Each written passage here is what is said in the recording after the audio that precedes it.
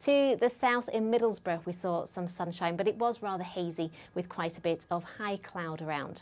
Now, over the next few days, it is going to stay mild and breezy. There will be some bright spells, but there's also going to be some rain at times.